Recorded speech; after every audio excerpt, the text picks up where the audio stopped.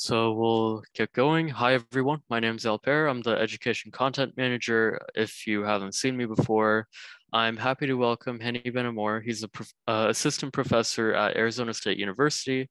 And today he'll be talking to you guys about robot learning and neural networks. So Heni, if you'd like to uh, introduce yourself again a little more, and then we can get going. Absolutely. Hi, everyone. As Alper already said, I'm an assistant professor at ASU and I work at the intersection of machine learning and robotics, really how to make robots self-adapt, self-program, and, and just generally being responsive and adaptive to their environment. And so here we see this cute little robot that we're going to be using today actually for some of our examples. So let's jump right into this. So yesterday I got a question on which books uh, are actually pretty good for getting into this field. And I said, hey, let me just create a slide for this tomorrow. And so that's exactly what I did here. So we have here a selection of different books. The two first books are books that I would recommend for people who maybe are already kind of getting into this field, are maybe also experts. So especially the leftmost one, deep learning, it's mostly for people who want to become like hardcore experts. It includes some math, um, so not necessarily always easy to get into, but it's still a very good book. The second one is more for practitioners. Um, and actually, it's, it's, it's a great book. So for being for pr practitioners doesn't mean that it's a bad book. It, on the opposite, it's, it's actually a great book. Uh, less equations than the first one. And now the book that I think is the best for you, in my opinion, uh, at least, is the third one, which probably you have never heard of, which is called AI Techniques for Game Programming. And so really it's about how to create intelligent agents in video games um, that are adapted to their environment, they can learn to adapt to a user. And actually, that is way closer to robot learning than the other two books, because it actually talks about active agents that have to seek out information about the environment and have to do human machine interaction. They have to adapt to the video game, uh, uh, to the user, effectively, to the gamer. Um, and you can buy the book for only about eight bucks used um, on Amazon. So, so I strongly recommend you uh, to buy that book. It's an amazing book. I loved it. Um, and um, you can learn so many things from it. So, so really, if you want to get into this, take the third book because it comes with great examples that um, really are way closer to robotics than the other two uh, books. Okay, um, so and, and the author, by the way, is called Mat, Buckland. Mat Buckland. Okay, so you remember the slide from yesterday. What we're trying to do in robot learning is to connect robots to the environment by having um, them effectively replace the traditional programmer by a machine learning component. So rather than having a programmer, we're now having uh, an algorithm, a machine learning algorithm that learns to adapt to the environment automatically and autonomously. So we don't need to have an expert there thinking about this, writing down equations and algorithms anymore. We just have some learning mechanism in the robot that allows it to adapt. And another way of thinking about this is really in the traditional programming paradigm, you as the expert, your task is to create a box. And that box, let's call it a program. So you have a program and the this box, the kind of what, what you're trying to do with the box is to turn some input into output. In the case of robotics, the input could be what the robot sees, what the sensors um, tell us right now, so the sensor measurements. And we need to turn that into an output using our program. And typically the output would be the actuators for the robot. So basically control signals that tell the arm, okay, now move to the left and move up and so on. Or um, actuation signals that tell the wheels to spin or not spin. So you as a designer and programmer have to think carefully about this. How can I turn the inputs into outputs? And now what we're trying to do as machine learning experts is to replace that paradigm with a different paradigm where we have inputs and outputs. And instead of us writing the code in the Python code or whatever in between that turns input to outputs, we just collect examples for inputs and outputs and have some machine learning, so-called supervised learning mechanism, turn that into, um, automatically find out the box in between. So we just give it examples. Whenever this is the uh, input, this should be the output. Whenever this is the input, this should be the output and so on. And from these examples, supervised learning techniques can then generate the box in between, generate the program, which can turn any input into a corresponding output. So by giving it only a small example or a small set of examples, we can hopefully generalize to many, many new examples. Huh? Okay, so let's imagine, for example, you're trying to program a robot to get through a maze. We take a couple of mazes and we record how a human would navigate or control the robot to get through the maze. We record the data and then have a supervised learning algorithm turn inputs into outputs using kind of machine learning. So it, it learns the block in the middle, uh, the program. And then once we have that, we can use the program on new mazes, uh, generalizes to, uh, to new mazes and new environments. At least that's the hope. Okay, so that's what we're going to be learning about today, supervised learning for learning robot controllers. And um, just to kind of let you uh, rehash a little bit or kind of remember a little bit what we were talking about yesterday. Um, these kind of techniques, you can use them to learn everything from human robot interaction. Um, and by the way, all of these pictures are from my lab. So these are not just some kind of pictures you find on the internet. This, this is actual stuff we've done in my lab. So we've, we've used these techniques to have a robot interact with a human and learn to assemble Lego pieces we use the techniques for having like a, a small cardboard robot learn how to kind of uh, crawl over ground. Uh, and we use that for all sorts of like prosthetics, for example, for people who have an amputation, or robots in industry that can perform manipulations in industry. So in our today's journey, what we're going to be doing is to take the simulated robot here and try to imbue it with some intelligence the exact task, I'll be talking about that in a couple of seconds. But let's take a look at this robot and just at the rough level, understand what are typical things that you would need to have in such a robot. So if someone gives you such a robot, you go out and buy a robot like this. What do you want to have? Well, on the side of the brain of the robot, we need algorithms or programs that allow the robot to navigate, uh, kind of move around and avoid obstacles, for example. Well, we don't want the robot to be bumping into things. Similarly, we want to be able to control the arms of the robot in order to perform manipulation. So movement of the arms and manipulating objects is something uh, that's typically among the first things you want to do. But in order to get there, typically there is another level that you have to implement first and in the case of this robot, for example, it would be stabilizing the robot on the uni wheel, uh, making it somehow stable. And so this shows you that even for a relatively simple robot, this robot doesn't have too many um, degrees of freedom. It doesn't have many fingers, for example, just have kind of these clasps. Um, there's still a lot that you have to think about. And, and again, machine learning can help us uh, go away from the traditional programming paradigm to just kind of a data-driven paradigm. We can solve these issues by just collecting data and have the robot explore the environment and collect data and train from it. Now, how do we specifically do that? And today, as I mentioned already yesterday, I want to talk about neural networks, artificial neural networks. But artificial neural networks are ultimately inspired by biological neural networks. So it really helps to have a, a rough understanding of how our brains work. Yeah? And so our brains are, are, biological neural networks. But at the same time, our brains have basically 100 billion neurons. So our brains are these kind of compound um, kind of structures that are built on many, many neurons. So it has many, many neurons in there.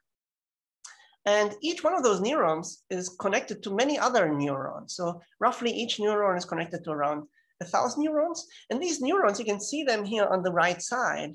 Uh, what you see there is a neuron. On the left side, the neuron has dendrites. And with these dendrites, it may be connected to about a thousand kind of other neurons.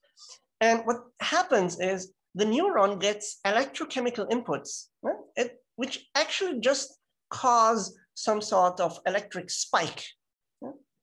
But here's the interesting thing. The neuron basically has some sort of rule for when it spikes or not. So it gets all of these inputs, all of these electrical signals from its neighbors. And then it only fires itself. So the neighbor's fired and kind of all of that goes into the left side of the neuron.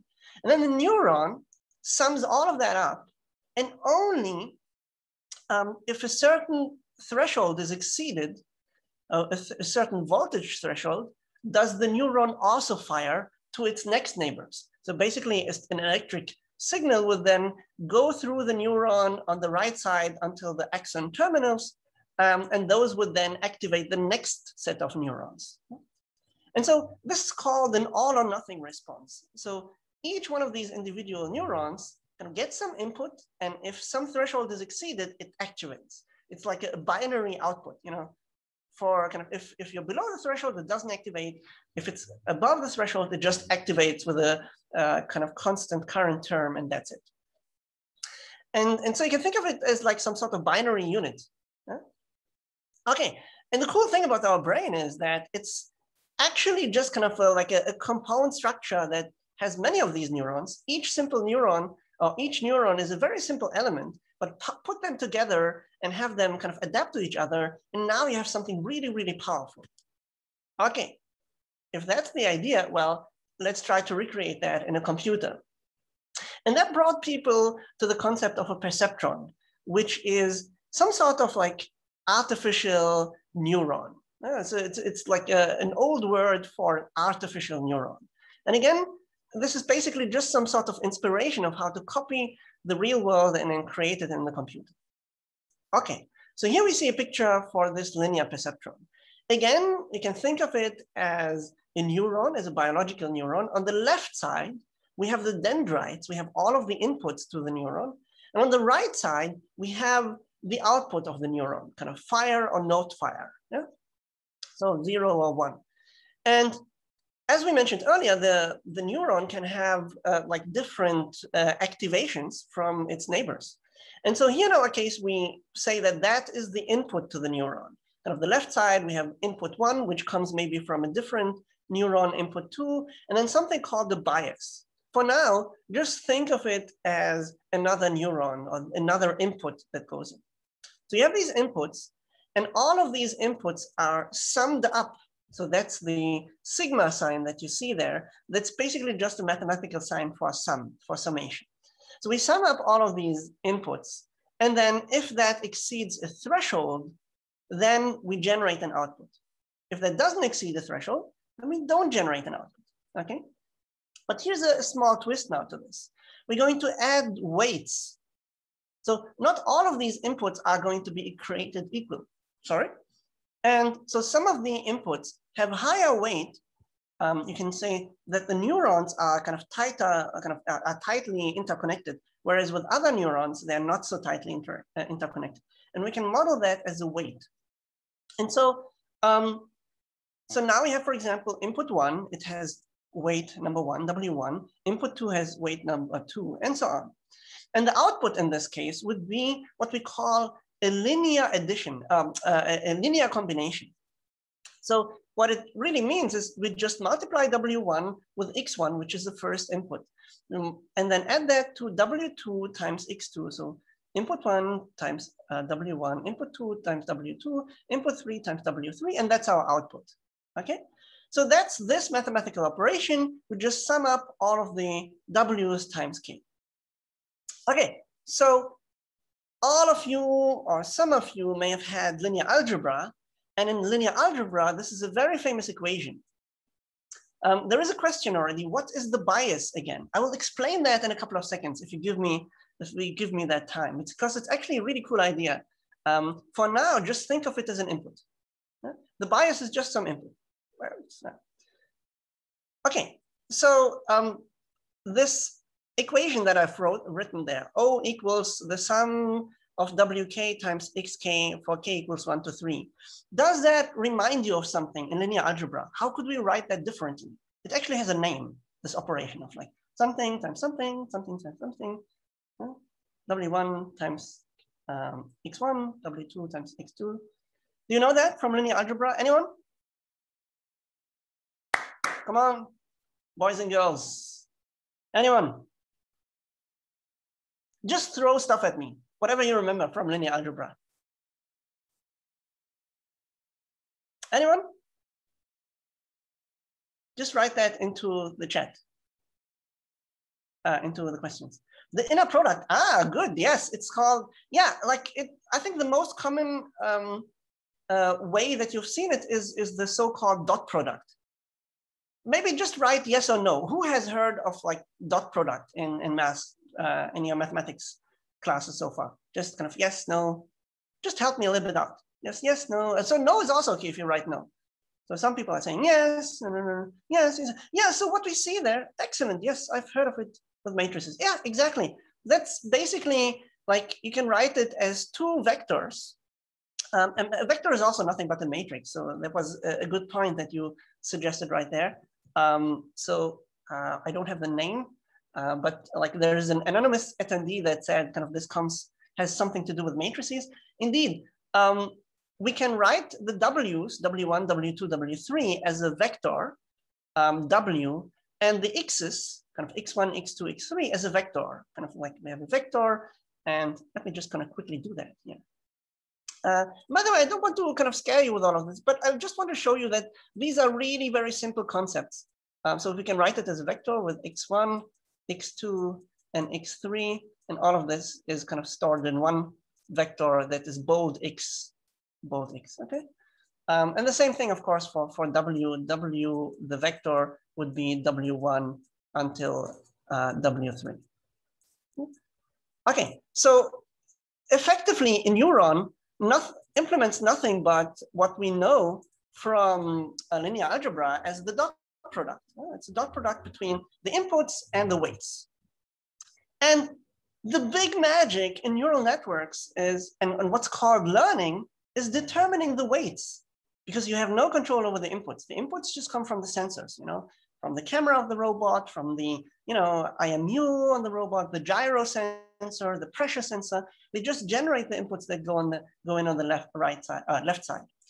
And then what you have control over, what you can learn and change for the robot to get smarter is the W's.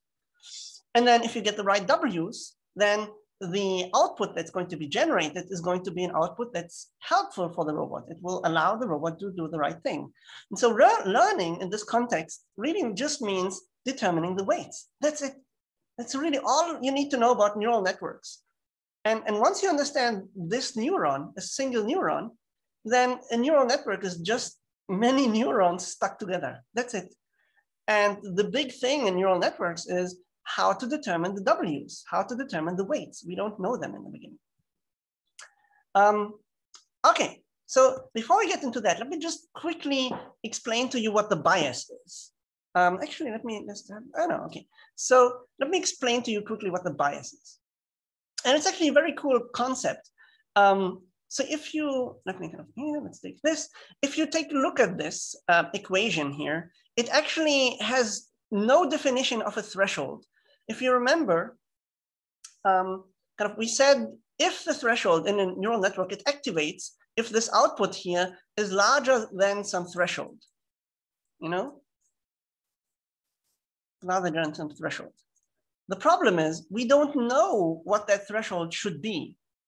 Like, is it 0 0.7, 0 0.5, point, I don't know, one or 0.001? I don't know, you know? And of course we don't want to set it. So a smart way to set it would be to let it actually automatically learn or have the neural network automatically learn what this threshold is. And it turns out that is exactly how we get this bias here. And for that, we need to understand something. Um, so let's say um, you have um, kind of a simpler version of this where you have W1 times um, X1, which is kind of your input, plus W2 times X2, and that needs to be larger than the threshold, you know, um, uh, THR threshold. Well, we don't know what the threshold is, but what we can do is to say, well, that's, let's do a minus threshold and kind of pull the threshold to the left side. So we have W1 times X1 plus. And by the way, we can't see any of the writing that you do on oh. to the left of the X2. Oh, to the left of the X2. Okay. So to the like, left okay. of the X1, sorry. So I think okay. there's something covering it there. There's but- something covering it there. Okay, okay. Um, and that, thank you so much for, for pointing that out. Let me let me draw it right over here. Um, so we yeah, have, we can't see it there. I you think can the see it? No, I think the picture is covering the writing or something Oh, like oh, that. oh, oh, can you see it here? Yes, it works Okay, there. I'll write it here. Sorry about that. Um, so, so let's do W1 times X1 uh, plus W2 uh, times X2. Um, and originally we said kind of that needs to be larger than a threshold. But then what we can do is to do minus threshold. So the threshold disappears here Heni, becomes, Sorry, Yep. we can't we can't see it again there. oh my God. Sorry Um, about that. Can you see something, any here? yes, yes, I can see it there. So I think it the problem is below the linear perceptron and like uh to the Okay. right of that area. My sincere apologies, everyone. Sorry about that. No, no, No, no, no, no. worries. So, so kind of, okay, let's write it again. W1 times X1 plus W2 times X2. Um, and, okay. And then that needs to be larger than some threshold. Okay, um, but what we can do now is to say minus threshold. And so it needs to be larger than zero, but now we have threshold on the left side. Um, kind of here, minus, oops. Um, so minus threshold. Okay, do you see that so far? Yep. Alper? Yeah. So you see that? So basically what we did is we have now, instead of threshold, we have zero, and now we have this minus threshold. And so what I can do now is to say, well, that's the same thing as saying I've created um, some sort of input here that I don't know. So it's like saying minus one, uh, so just draw, oops. Um, it's like saying minus one times some sort of input here, which we will call bias. So now by doing that, I've actually removed the threshold and have now this input here, which automatically defines the um, threshold for me. So the bias here is effectively um, something that helps me um, define the threshold. And the way we do that is by saying minus one is what should be the input, and the B here is effectively our W3. And so after all of these equations and so on, what the only thing you need to remember is normally in neurons, they have this threshold. Only above the threshold do you activate. And the problem is we don't know where the threshold comes from. And an easy trick to avoid determining the threshold is to just create another input, which has minus one as an input to it. And the actual weight, the actual threshold is stored in the W. Okay, and, and by the way, kind of feel free to raise your hand or kind of ask a question if this um, goes over your head or if I'm not explaining it right. Okay, so now a very small twist to this. So typically when people do neural networks in the real world, they add some what's called a nonlinearity to it. So the output of the neuron goes through some function um, and the common function, and this is called an activation function, and a com common function that's often used is this function here, which is called the sigmoid function. And this is maybe not easy to understand, but let me just visualize it to you. The earlier output of the neural network would have been either zero or one. So kind of you have like this hard transition. And it turns out for mathematical reasons and for reasons of optimization, these kind of hard transitions are not good. Yeah? So they create like also, if you think of it from a robot point of view, you could have like hard transitions in, in the robot behavior. We, we don't want that. What we like to have is like smooth transitions. And so that's when people said, well, can we create something like, like this transition from zero to one, but not as a hard edge, but rather as a smooth edge? And that's exactly what this nonlinear activation function does. It kind of smoothes everything out. So the movement is smoother. And from a mathematical point of view, all of this becomes much more tractable. Okay, um, and that's basically it. So now that you understand what a single neuron is, a single neuron is nothing but you have some inputs, you multiply them with weights, and you check if the, the result of that, the sum of all of that, is above a threshold.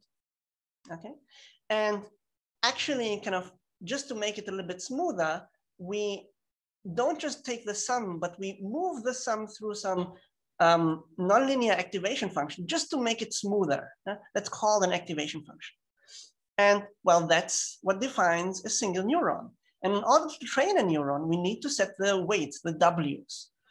And that's a single neuron. If you have a neural network, that's called, by the way, a multi-layer perceptron. It's another way uh, of saying neural network. Um, a multi-layer perceptron is just multiple neurons stuck together. And so here we see, for example, um, one neural network that I'm using kind of in, in some of my examples. Um, and, and basically you have some input units, what we call input units. That what goes into the neural network. That's the input that comes from the sensors. And then you have some neurons which do these activations that we saw earlier, summing up stuff and it, uh, multiplying it with weights. But the difference here is that the output of a single neuron is going to go into the next layer of neurons. And so now we have this cascade, this layering of kind of computations. And one thing that's really cool about this, even if we have a very simple neural network that only has two layers, there is a proof that shows that you can learn all continuous functions. So that's actually a very broad class of things that you can learn. And with three layers, you can already learn all functions that are possible. And that's really, really cool. Okay, so now, now that we know the theory, let's actually use it for an actual robotics task. And we're going to take a neural network, stick it into our robot, and we're going to learn the weights of the neural network so as to have the robot become smarter. In our specific case, we want to be able to predict whether the robot is going to collide in the next time step with something or not. Uh, this is very important because you want the robot to move around and not bump into things. And so, Any, by yeah. the way, sorry, we have a question from Pranav. Ah, please go ahead. Yeah.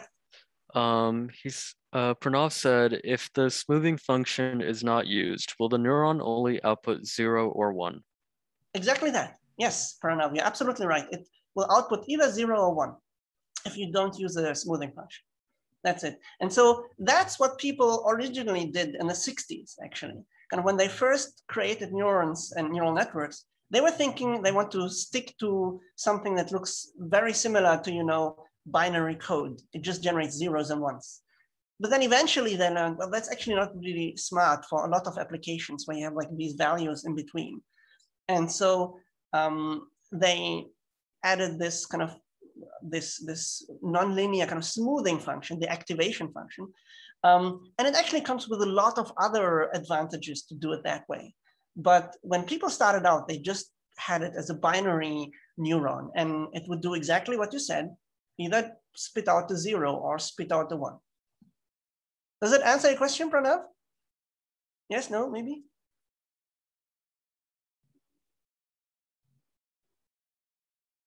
Uh, okay, so I don't see any response there. So let's move on. But Pranav, keep it going or keep it coming. If you have any questions, just um, shoot at me with a question. Okay, so, okay, yeah, our task. Our task was to teach the robot how to not bump into things. So really what we're trying to learn is some sort of predictive model. Um, so it should make a prediction. So a neural network that makes a prediction in the next time step, am I going to bump into the wall, yes or no? Um, so in other words, the neural network will give us as an output, the output of the neural network is just collision or no collision. Or maybe a value in between if it's uncertain, you know, if the network's like, oh, 0.3, it could be a collision, but I, I don't think so. Huh? Oh, select present again. Okay, so that should be the output of the neural network. And now let's think about, that, about the inputs of the neural network. Well, the inputs of the neural network could be the sensors of the robot. That would be the distance sensors. So sensors that tell us how far away objects are to the robot. And so it roughly looks like this. So we have the robot and it can measure using its sensors, uh, LiDAR sensors or whatever, measure distances to the environment. And those distances um, go as input to our neural network. And so in our case here, we have five um, laser sensors or LiDAR sensors that tell us the distance. And so we have five inputs. Any, so the, Yeah. We have two more. Sorry to cut you Oh off yeah. again. No, no, no, no, no. No, please, please, please. Uh, someone asked, "What's the nature of thresh of of a thre- threshold? Sorry, a Mhm. number or a condition?" It's just a number. It's really just a number. It's like 0.7, for example. And if the if after the summation at the neural network, the value is higher than 0.7, then it activates. Other, otherwise, it doesn't activate. So it's really just a number. It's not a condition. Okay. Um, Yep. Pranav asked one more. So it does not mimic the human neurons nowadays, but previously they had to act like human neurons, all or none, for the Um, one or zero question. I think kind of, but actually, actually, it turns out human neurons work even more like human neur- neurons are even more complex. They're like even the old model um, was not exactly like really, really mimicking neural network like human neural networks well. Um, but that part, yes, kind of it had this all or nothing response. Um, so the traditional perceptrons, let's call the perceptron, yeah? um, they have they have this all or nothing response, zero or one. Um, but I wouldn't necessarily say that it's exactly mimicking human neurons, uh, even the old model, because um, yeah, it turns out human neurons or like just biological neurons are yet a little bit more complex than what we're modeling here. Uh, so basically, Pranav, the answer to your question is yes, uh, but it turns out biology is always a little bit harder than what, we think it is. Yeah. Okay, so uh, let's get back to the um, neural network that predicts whether we're going to have a collision or not. So we have five inputs and the output of the neural network should be a number between zero and one. And so if it's zero, then basically we're not going to collide. If it's one, we're sure we're going to collide. And if it's somewhere in between, then it's, you can think of it as something like a probability, like how likely is it to collide? So if you have like 0.8, um, then it's basically like, oh, oh, you're already in a very dangerous zone. If, if the likelihood or the output is 0.1, then very likely you're not going to collide. It may still happen, but very likely you're not going to collide.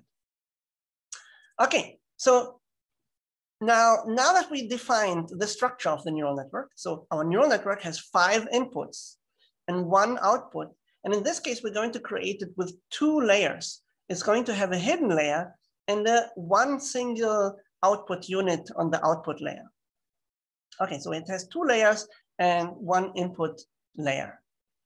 And so how do we go about this? The interesting thing here is that differently to programming, you don't have to sit down now and think about the task. The only thing that you need to do in a smart way is to collect data. And what we need is data regarding the input, as well as data regarding the output, okay? And in this case, one thing we can do is to just have the robot wander around randomly in the beginning.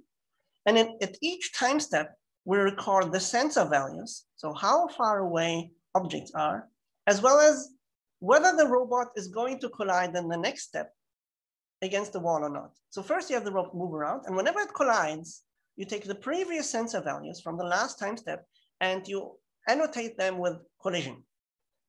And whenever the robot was not colliding in the next time step, we just take the sensor values and say no collision. And so now, with just having the robot randomly move around, we can collect data. And, and you can really think of it as what you see here in the picture. The robot is just moving around, and then whenever it bumps into something, we just label that, those sensor values as, okay, that was a collision. Okay.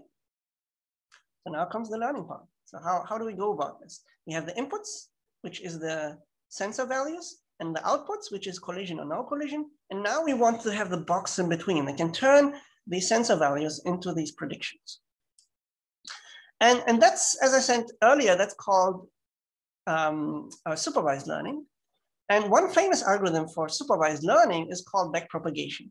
Backpropagation is basically self uh, supervised learning for neural networks.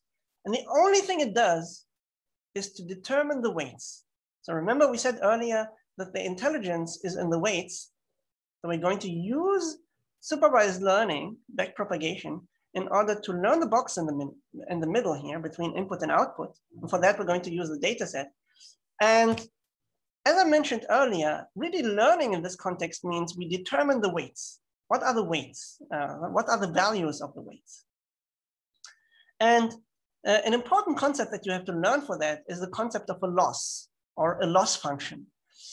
And, and the loss really means is how much do my outputs from the neural network deviate or how, how different are they from the true outputs that I'm expecting that are in my data set. You basically change the weights of the neural network until the outputs of the neural network come closer and closer and closer to what they should be and what they are in the data set that you collected. And once you're close enough, you stop. So that's called backpropagation, changing the weights again and again until the outputs of the neuron uh, or the neural network match your expectation or what you collected in the data set. And there's one important concept here for you to kind of um, keep track of, and that's the concept of overfitting. You can also overdo this thing of training your network. Um, so imagine here we want to do, we have a task like this where you want to classify between um, blue dots and red dots. Well, if you train your network a little bit uh, with kind of not too many steps, then it may actually spit out um, some sort of classifier or some sort of uh, or a set of decisions that basically say, well, here along the blue line here, the diagonal, everything that's on top of that, uh, or like above that, is blue, and everything that's below below that should be red. But that actually wouldn't really necessarily carefully reflect um, the data set because there's quite a number of blue dots here that are not captured. Let's now move to the right side, rightmost side. Um, here you could say, well, let's carve exactly out all of the blue dots and avoid the red ones.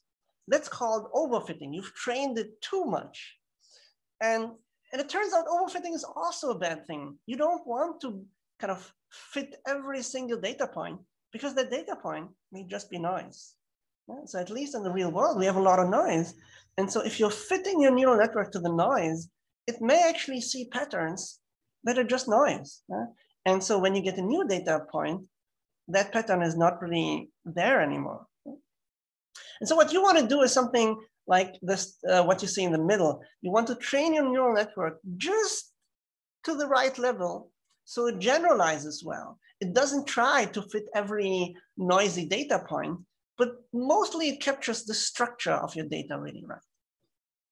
Now, how do you do that? Well, there is one technique that's called early stopping.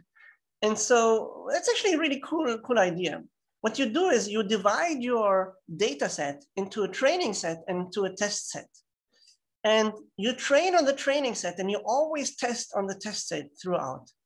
And in the beginning, as you're training, you will see that the error, so what you see here on, on the y-axis is the error or the loss. And we want to minimize the loss. We want to have as minimal loss as possible. Right? And in the beginning, you will see that the loss for both the test set as well as the training set is going to go down.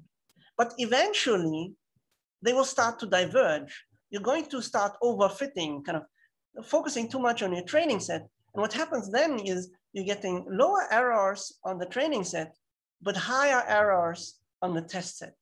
So what you really want to be doing is to stop here, stop in the middle when you have like a nice fit. That's called early stopping. And really one way to do that is just to constantly spit out as you're learning with every iteration, spit out these values for how much training error you have and how much test error you have. And when the two start going away from each other and not both going down, you stop. That's called early stopping. Okay, and as I mentioned yesterday, I want you to be able to actually get into this field and not just kind of think about it theoretically, but actually start yourself and so there is one library, uh, a Python library called PyTorch, which is an open source machine learning library, um, freely available, and it comes with a wide range of networks, and but also is, is really very accessible and very easy to use. And if you do that, you can actually implement everything that you saw earlier with just a bunch of lines of code. And so let's just quickly give you a glimpse of how to do that. Let's say you wanted to define a neural network. So let's see here if, if there's any question, by the way. Uh, okay. So let's say you wanted to define a neural network. Well, you can define that in PyTorch as class neural network. And then you create an init function and the init function, you define how many layers it has. So here, um, basically the self FC1, uh, it basically means fully connected one, and that's kind of the first layer.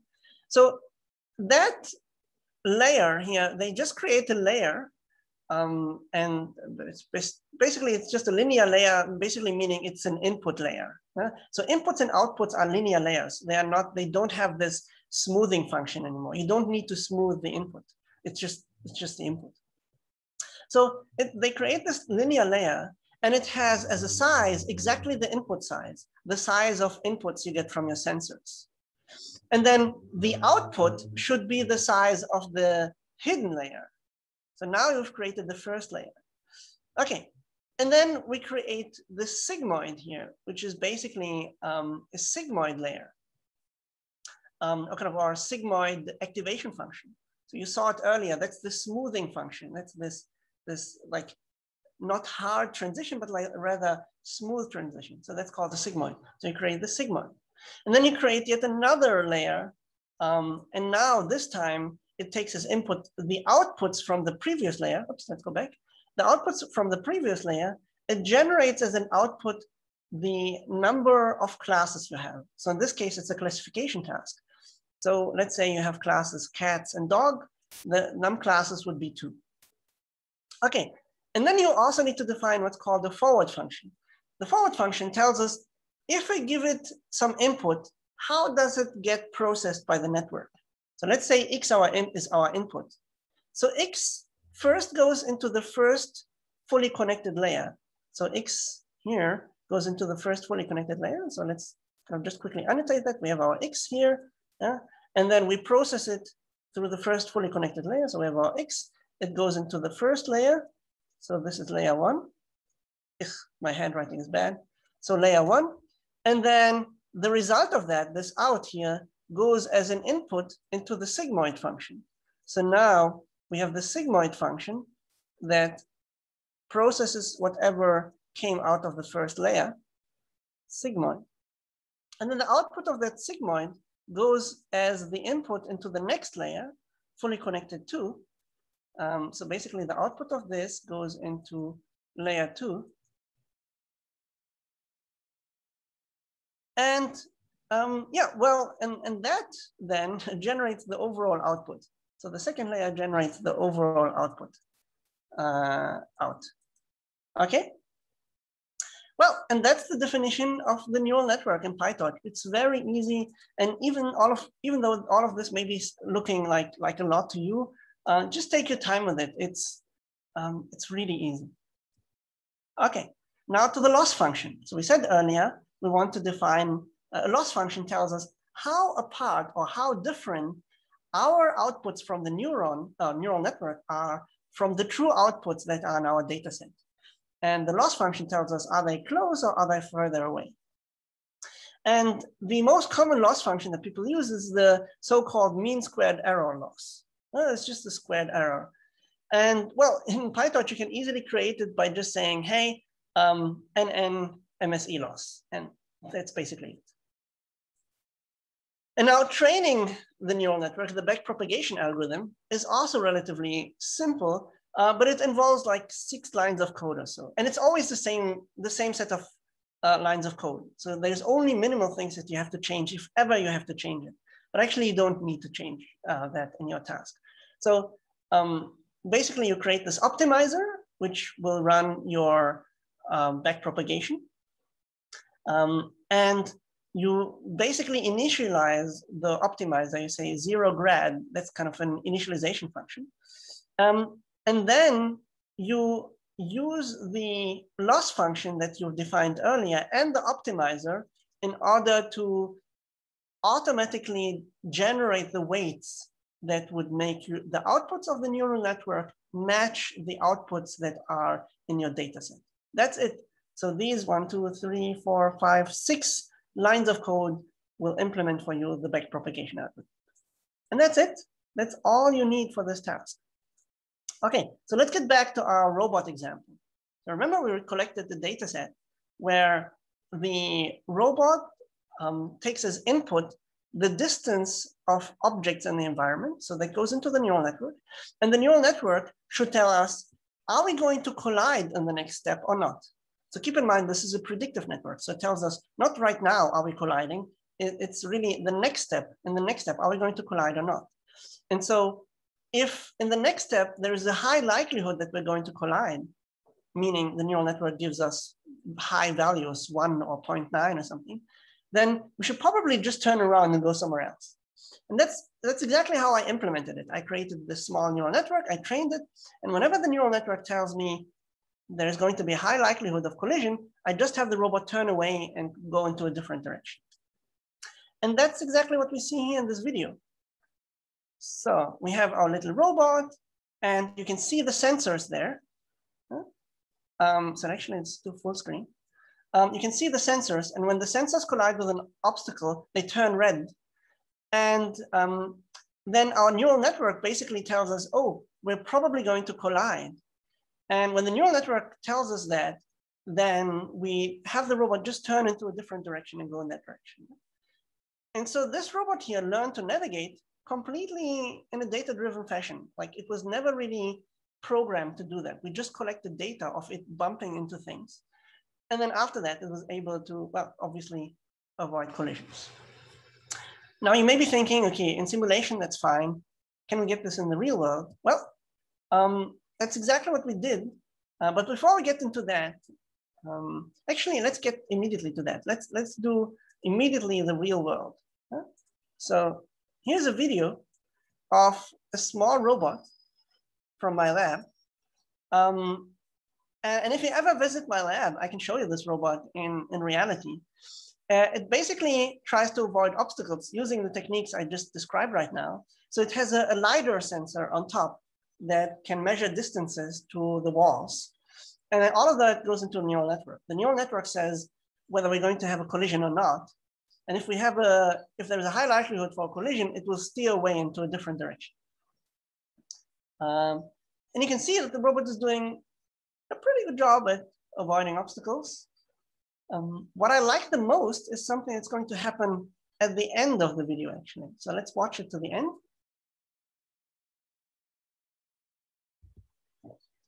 So here, you can see it's making these small corrections. Huh? And so here at the end of the video, a human is going to step in front of the robot. Ah, you see that? The robot even backed off, like it, it kind of foresaw that a collision is going to happen and then backed off. And then now we just stop the robot. Okay, so everything that you've learned today, first of all, you can easily implement it in, um, in, in PyTorch. And secondly, you can immediately also put it to use on your robot.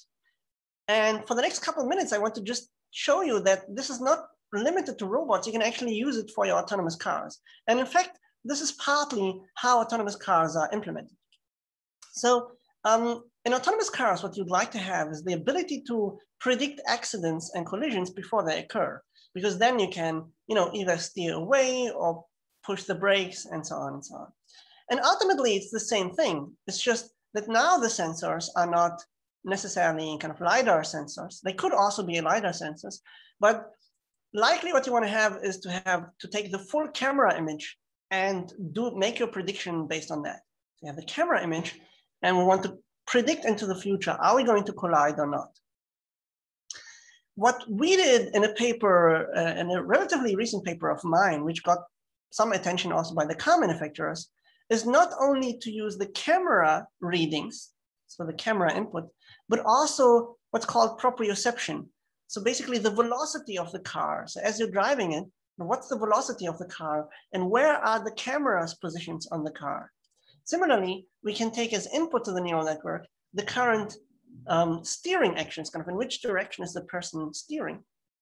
Uh, because it really makes a difference um, whether you're colliding or not um, based on which direction you're going. If you're just heading kind of full on into an obstacle, yeah, well, then you're going to collide. Whereas if you're drifting away from that, then um, maybe you're not going to collide. Similarly, we also measure the acceleration and take that as input to the neural network. And then we make a prediction, the same thing that you saw earlier. We have basically a neural network that takes all of that as input and makes a prediction at the end collision or no collision. Um, and you can see here that in this example with autonomous driving, you may actually be taking as input the information from multiple cameras because nowadays cars, they actually, they don't have a single camera. They have maybe like eight cameras or so. And, and we could technically use all of those. Um, and here's, here's just an example um, of a simulation um, showing this with the um, collision checking on the right side and no collision checking on the left side. And you can see um, using our approach on the right side, we can basically avoid a collision, whereas on the left side, like the red and blue car actually hit each other. Um, let's actually take a look at that from the first person view, then it's a little bit more dramatic. So on the left side, we're going to collide, on the right side, not. Uh, boom, ah, on the left side, there was a collision. So with all of this stuff, you can immediately put it to practice. Um, and actually, it's also something that may help you if you apply for like uh, an engineering position or roboticist position at like Tesla or any one of these companies. So this stuff is really, really highly sought after. And if you can show skills in this domain and, and basically be able to run this example and basically do this example in your internship, um, I'm fairly certain that um, you, can, you can gain an edge over others that are applying for the job, okay? Okay, so, well, we have a quick question, Heni. Sorry about yeah. that. No, no, no. Um, someone asked, how is the train model deployed onto the robot? Is the robot communicating continuously while moving to perform the inference? Or do you create some sort of executable version of PyTorch that can be stored and run on the robot's board? Wow, that's that's that's a great question. Um, honestly, it's um, there are some people who are probably more of an expert on this because deployment of models is not necessarily my field of uh, study. But typically how it's done is you, you create your code in such a way that it can take as input uh, a PyTorch model. So think of it really like, um, like any like file from like Microsoft Word or something. You just load the file which has the weights of the neural network. That's the PyTorch model. And kind of at the beginning of your program, the, the program that you compiled for your robot, you load in the, the weights and you then kind of on the robot, on the actual board of the robot, um, so embedded in the robot, you do the inference. So that's typically how you do it. And um, so for example, NVIDIA is selling this, uh, what is it called? NVIDIA, ugh. The so Jetson. Jetson, Jetson, yeah. Jetson. They sell these Jetson boards that allow you to do inference on the board itself, uh, or Jetson Nano or something like that. Um, uh, Intel also had like some something, but unfortunately, like it didn't really work out. And then they started creating sticks for it. Uh, I don't remember what the Movidius sticks. I think there's some weird name, Movidius, Intel Movidius. And but basically, those sticks. Um, the, the underlying idea is that they can do inference really well, but you have to provide them with the model file that stores the, um, the weights of the neural network. Exactly, the, the neural compute stick, exactly.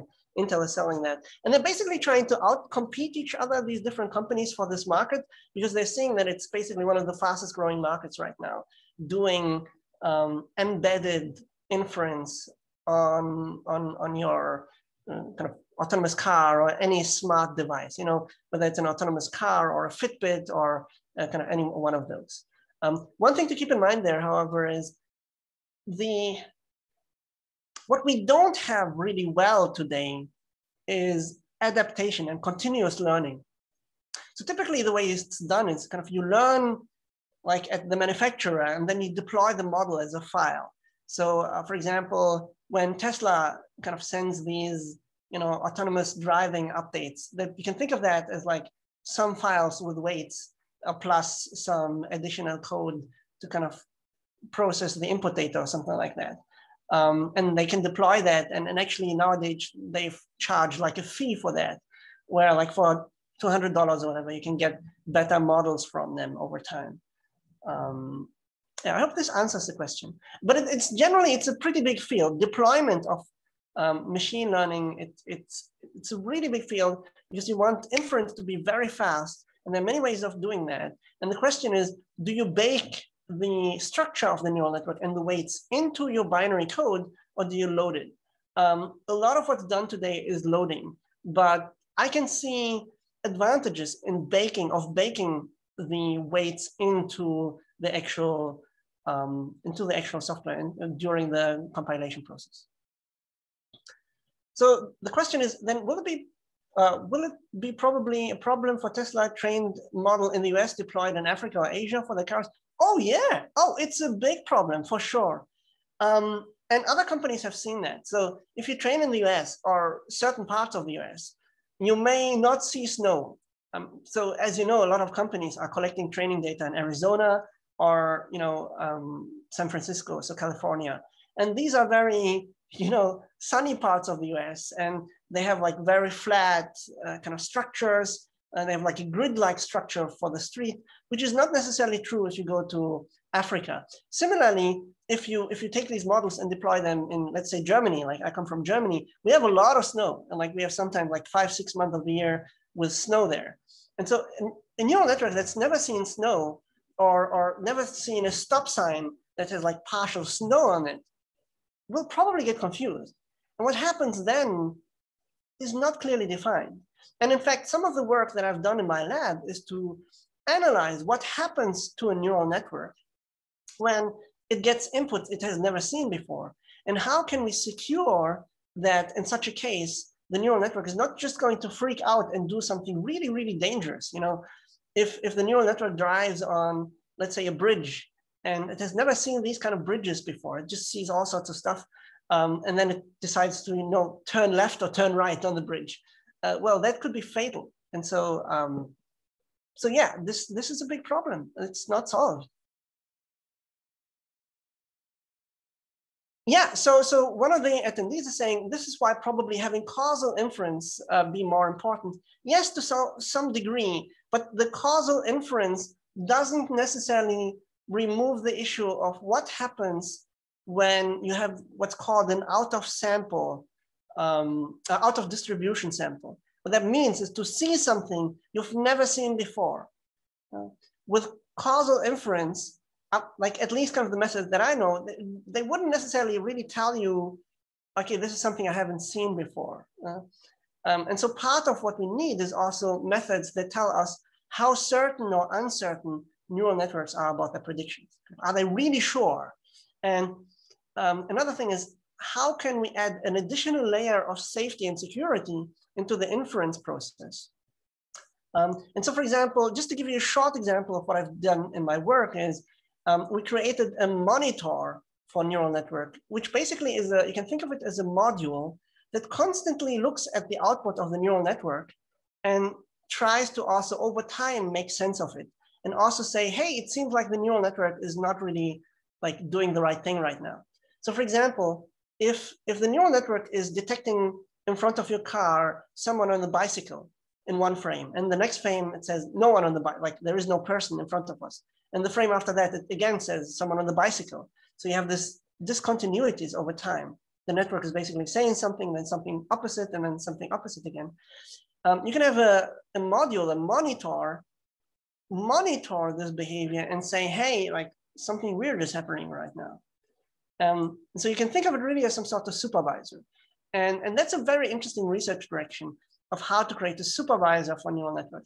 Another way to solve this issue is to change the loss functions and create new loss functions that guarantee that you are never above a certain threshold of errors. That, Like the worst possible error the neural network could make is like bounded, we say, kind of limited in size. Okay, so let's move on. I think I'm, I'm mostly at the end of the lecture, but let me just show like one or two videos and then kind of we, we wrap up the lecture. Um, just a couple of examples of really cool stuff you can do with robots and robot learning. Um, and in this case, it's the task of ball in the cup. So this is actually a friend of mine. She's teaching the robot how to do ball in the cup. And um, you can, again, you can use your neural network and you train the robot to do that. Um, but maybe the robot is not really doing the right thing. And so in this case, you can still continue collecting some data um, in a very similar way to what we did earlier with the random movements. Uh, and then over time, the robot gets better and better at this. And then eventually, um, yep, there we are. After 45 trials, I think this is the first time where the ball is going to go into the, oh no, actually it didn't. It didn't hit it. Uh, after 60 trials, let's see, the ball went into the curve. Oh no, it didn't. Oh, actually, that's interesting. Uh, after 100 trials, finally, finally did it. Okay, so that's one interesting example for this. Um, and this one is a, a, very famous one where um, Google basically trained the robots to be able to pick up objects. And it's a very sim similar structure actually to what we did. You could even say it's the exact same thing. It's just in their case, the robot always predicts if the object is going to stay in the hand or not. Is it going to be stable in the hand or not? So it's constantly collecting data where it picks up an object. And if the object falls down, it says the neural network uh, basically says unstable. And if the object stays in the hand, then the neural network um, outputs stable.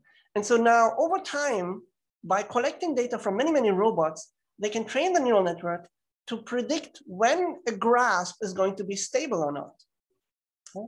And so over time, the network becomes really good at picking objects and lifting them without them falling out of their hand. And you can see that experiment here. They basically repeatedly grasp objects, try to lift them. And if they stay in the hand, they label that as good or like, uh, yeah, like stable. And if, if they don't stay in the hand, the object falls out, they label that as uh, unstable. And they learn a neural network that uh, basically predicts this stability. And as a result of that, they can then use it to stably grasp objects. Um, and then the final one, kind of more as a final anecdote, um, effectively a colleague of mine, Katsu Yamane, used these kind of techniques to create like small robots that crawl over ground and get better and better at um, crawling and, and doing really interesting um, things. And, and he was working for Disney at the time. So Disney is interested in using these techniques to create like artificial creatures that um, kind of move in a very interesting and dynamic way. Okay, and so with that, we come to the end of the class. We learned about supervised learning. We used that to predict collisions. We saw at the end that this relates to some of the things that Google did in order to learn grasping. And by the way, the, the Google paper actually just came out like three or four years ago. So we're talking here about relatively state-of-the-art things. Yeah? And so if you implement what I just showed you earlier, and I, I showed you even the code, um, basically like you would have done something that Google very recently still was writing papers on. Huh? And yeah, I mean, that that's it basically. And, and tomorrow we'll be talking about evolutionary algorithms, which is another really, really cool topic. And so I'm looking forward to that. And so with that, I, I finish my talk and I'm open for any more questions that you have. Thanks so much. Thank you so much, Heni, for spending your time with us today. Um, yeah, if anyone has any questions, we can take one final one. But um, since we're over time, we can't take too many.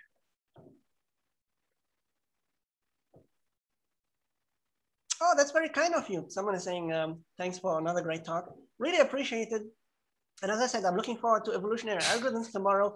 And you'll yeah. see that we can actually um, automatically create the Homer Simpson under an X-ray. So just stick around for tomorrow and I'll show you how to create Homer Simpson autonomously and it will look like Homer Simpson under the X-ray.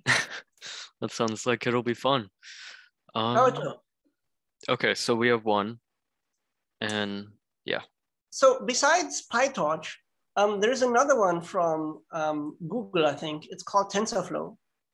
And, and so these are kind of the competing big packages. PyTorch is um, funded by uh, Facebook AI, and TensorFlow is by Google. TensorFlow is the older one, the more mature one. PyTorch is easier to get to. So if you're starting, I would recommend PyTorch.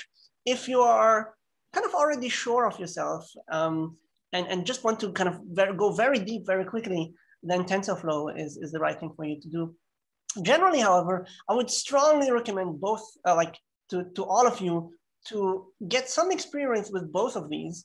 If you write that into your CV, it will substantially bolster it.